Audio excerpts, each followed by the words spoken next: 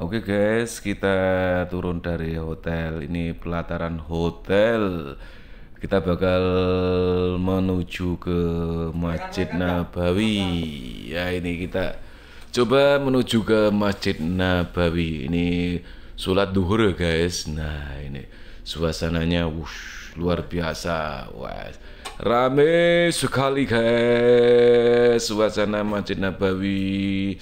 Dan nah ini dia setelah sholat ini pulang dari Masjid Nabawi suasana pelataran ya.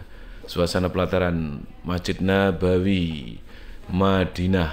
Nah wus luar biasa ini guys. Nah ini. Wus penuh sesak kalau datangnya terlambat. Wus masih di pelataran sholatnya mesti ini. Wah suasananya jangan luar biasa dari berbagai negara datang di Masjid Nabawi suasananya luar biasa. Nah kita pulang.